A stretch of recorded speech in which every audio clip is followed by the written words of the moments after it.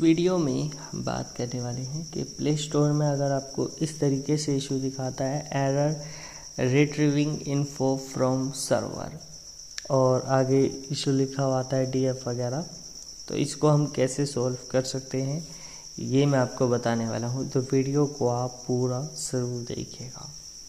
तो इसके लिए सबसे पहले आपको जो अपने फ़ोन की सेटिंग्स में जाना पड़ेगा, एंड उसके बाद आपको क्या करना पड़ेगा कि सिम कार्ड से मोबाइल नेटवर्क पर जाना है और यहाँ से जो है आपको सिम कार्ड्स में चेक कर लेना होगा कि आपका मोबाइल डेटा किसी से स्टार्ट है या नहीं अगर स्टार्ट है तो उसे स्टार्ट कर लीजिए। सबसे पहले आपको ये करना है एंड फिर बैक ला देना है और यहाँ से जो है आपको ऐप्स में जाना है मैनेज ऐप्स में जाना है और प्ले स्टोर को यहाँ से सर्च कर देना है।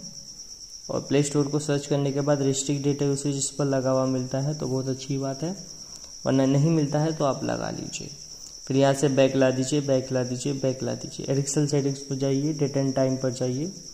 और दोनों को यहाँ पर प्रॉपरली आप सेट करके रख लीजिए।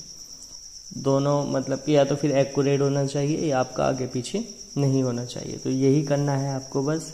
फिर यहाँ से बैक लाना है और फ़ोन को बंद करके खोल लेना है। तो जो ये दिक्कत आ रही होगी, फिर ये तो आपको जो है नहीं दिखाई देगी। बट अपने इंटरनेट को सही से स्टार्ट करके रखिएगा। या फिर आप दो तीन घंटे का वेट भी कर सकते हैं।